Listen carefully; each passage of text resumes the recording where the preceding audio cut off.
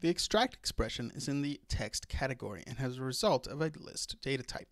The purpose of this expression is to extract certain values from text. As we can see here, the extract expression has two parameters. First is a code that tells AppSheet what we want to extract. This is going to tell us which type of things we're gathering from the extract from parameter, which is the text that we want to extract from. Here we can see the list of options that can always be found in AppSheet's documentation if you ever forget what your options are. A few of them are emails, phone number, prices, numbers, or dates. But there are more as you can see here.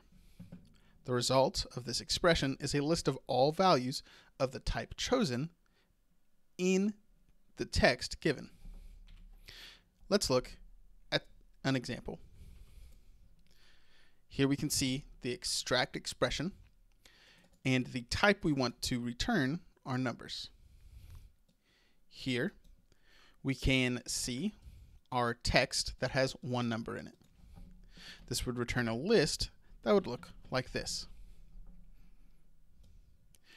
If instead we had a sentence like this,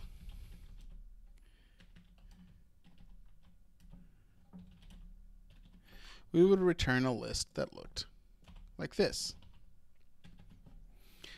We won't be going over every possible option here because that would be a lot of examples. But if you're interested, please check out AppSheet's documentation. If you would like to learn more, we invite you to check out appsheettraining.com. Thank you for watching.